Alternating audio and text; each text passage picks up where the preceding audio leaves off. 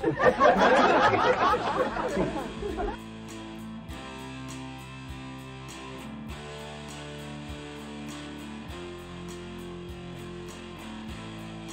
House of the Rising Sun wurde gemäß Wikipedia in über 300 Versionen veröffentlicht. Die bekannteste ist von der Band The Animals im Sechsachteltakt. Es gibt sogar eine Coverversion von Krokus. Die älteste Version wurde bereits im Jahre 1925 veröffentlicht. Den Song gibt es aber schon viel länger. Wenn du also deine eigene Coverversion veröffentlichen willst, kannst du dies ohne Copyright-Verletzungsgefahr tun. In diesem Video werden wir den Song im Viervierteltakt in der Tonart A-Moll und D-Moll anschauen.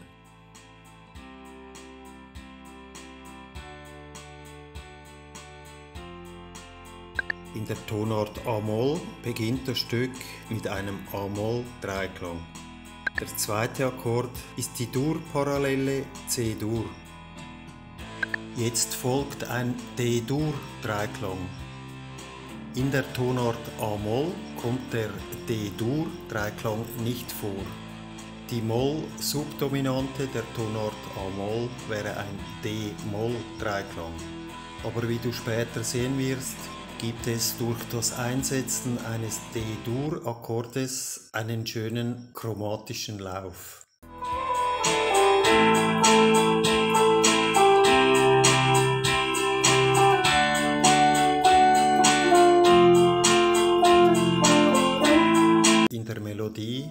den D-Dur-Akkord nicht den Ton F spielen, sondern den Ton Fis. Denn der Ton Fis ist die große Terz des D-Dur-Dreiklangs. Der D-Moll-Dreiklang hätte den Ton F. Danach folgt ein F-Dur-Dreiklang, die Dur-Parallele der Subdominante. Jede der vier Akkordfolgen fängt mit einem A-Moll-Dreiklang an. Auch die zweite fängt mit einem A-Moll an, gefolgt von der Dur-Parallele C-Dur. Danach folgt die Dominante von A-Moll, aber nicht aus A natürlich Moll, sondern aus A harmonisch Moll. Die Tonart A-Moll enthält als Dominante einen E-Moll-Dreiklang. In Harmonisch-Moll ist die Dominante ein E-Dur-Akkord. Du kannst in Takt 8 auch einen E7 spielen. Die dritte Akkordfolge Takt 9 bis 12 ist genau gleich wie die erste, Takt 1 bis 4. Du wiederholst also von Takt 9 bis 12, Takt 1 bis 4. 13 bis 16 spielst du ein A-Moll, ein E-Dur, ein A-Moll und wieder ein E-Dur. Molltonika, Dur-Dominante, Molltonika, Dur-Dominante. Du kannst in Takt 16 auch einen E7 spielen, das heißt, gegen Ende des Taktes die kleine 7 in den Akkord einbeziehen, das wäre der Ton D. Der Ton D ist die kleine Septime des E-Dur-Vierklangs.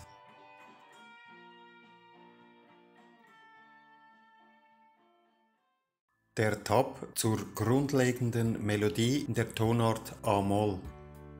Der Ton E im siebten Bund der A-Seite ist die reine Quinte vom A-Moll-Dreiklang. Von dort geht es zum Grundton A im siebten Bund der D-Seite. Dann geht es über den Ton H zur Note C, dem Grundton des C-Dur-Dreiklangs. Über den Ton E im neunten Bund der G-Seite geht es zum Ton D, dem Grundton des D-Dur-Dreiklangs. Der Ton A im siebten Bund der D-Seite ist die große Terz des F-Dur-Dreiklangs. Im Takt 5, im zehnten Bund der H-Seite, spielt man zweimal den Ton A dann gleich noch einmal und dann geht es zum Ton G, der reinen Quinte vom C-Dur-Dreiklang. Die Note im neunten Bund der G-Seite ist der Ton E. Dann geht's kurz auf dessen kleine Septime und dann kommt noch einmal der Ton E. In Takt 9 spielen wir dreimal hintereinander den Ton A im zehnten Bund der H-Seite und dann den Ton G im achten Bund der H-Seite der Quinte vom C-Dur, Dreiklang. Dann über die Note E im neunten Bund der G-Seite zum Ton D, dem Grundton des D-Dur. Dann über die Note A im siebten Bund der D-Seite zum Ton C, der reinen Quinte vom F-Dur Dreiklang. Dann folgt dreimal hintereinander der Ton A, der Grundton des A-Moll-Dreiklangs. Dann geht es zur Terz Gis, der Terz des E-Dur-Dreiklangs aus A harmonisch Moll im elften Bund der A-Seite. Dann zum Ton E der reinen Quinte des A-Moll-Dreiklangs im siebten Bund der A-Seite dann noch einmal der Ton Gis und die Melodie endet auf dem Ton A im siebten Bund der D-Seite.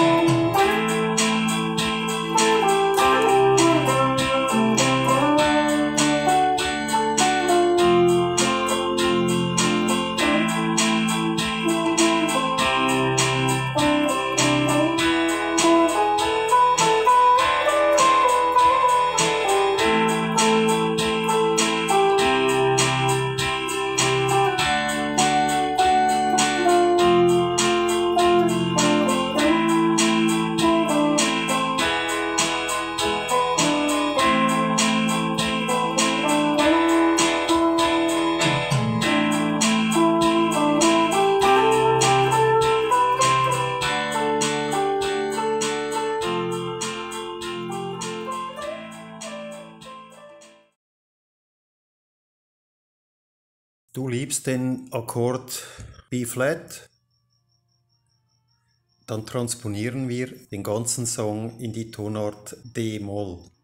Die Akkordfunktionen bleiben genau gleich wie in der Tonart A-Moll. Die Akkordfolge beginnt mit einem D-Moll, Tonika, gefolgt von einem F-Dur-Dreiklang, der Dur-Parallele. Das heißt, was in der Tonart A-Moll der C-Dur-Dreiklang ist, ist in der Tonart D-Moll der F-Dur-Dreiklang. Danach folgt ein G-Dur-Dreiklang. Das ist da, wo wir in der Tonart A-Moll einen D-Dur gespielt haben.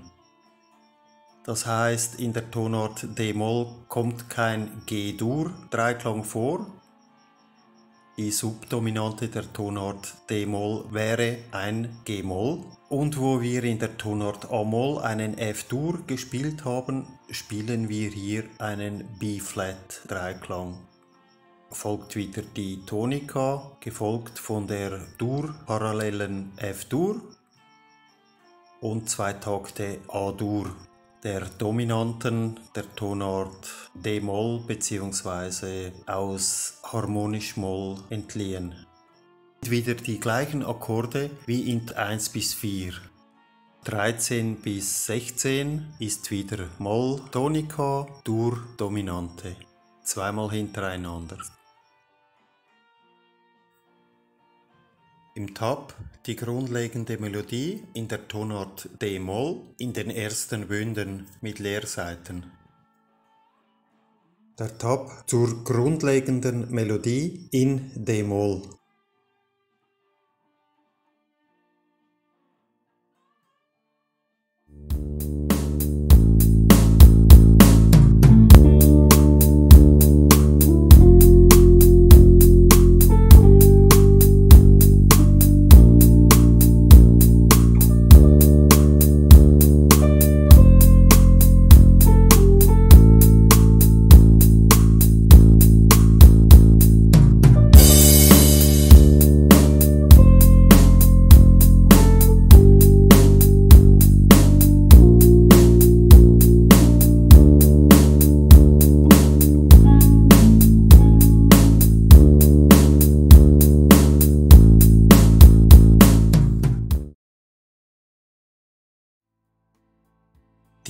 Die A-Moll-Tonleiter ist ja der sechste Mod, der C-Dur-Tonleiter.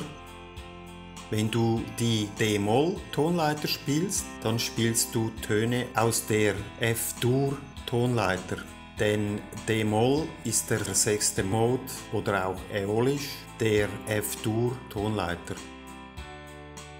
So wie die Tonart G-Dur mit der Tonart C-Dur Quint verwandt ist und ein Kreuz beinhaltet. Das heißt, in der Tonart G-Dur findest du keinen Ton F, sondern den Ton Fis. Ist auch die Tonart F-Dur mit der Tonart C-Dur Quint verwandt, beziehungsweise Quart verwandt. Man kann das so sehen, F ist die reine Quarte vom Ton C. Umgekehrt ist eine Quartverwandtschaft auch eine Quintverwandtschaft. Das heißt, der Ton C ist die Quinte vom Ton F.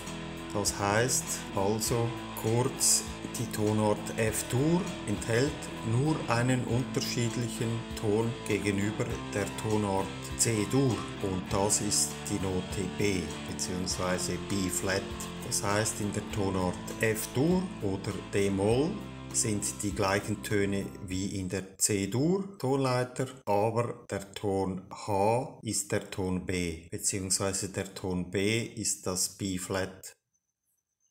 Also der Ton H kommt in der Tonart F-Dur nicht vor, sondern ein B oder B-Flat.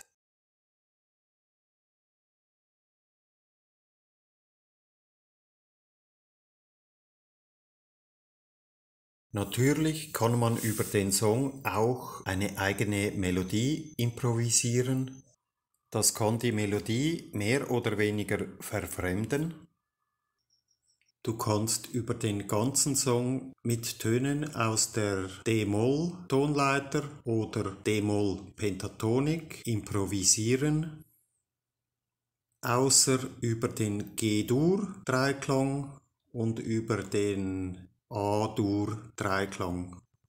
In D-Moll wäre die Subdominante ein G-Moll-Dreiklang, deshalb musst du über diesen Akkord die große Terz des G-Dur-Dreiklangs verwenden. das ist der Ton H, anstatt dem Ton B-Flat oder auf Deutsch B verwenden was ein Tonleiter fremder Ton der D-Moll-Tonleiter ist.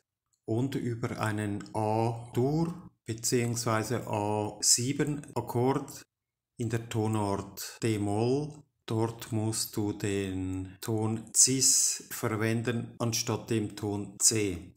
Oder Töne aus der harmonisch-Moll-Tonleiter, aber das ist nur ein Tonunterschied Und zwar ist das einen Bund unterhalb des Grundtones D. Also anstatt den Ton C verwendest du in der Tonart D-Moll den Ton Cis über einen A-Dur-Dreiklang oder einem A7-Vierklang.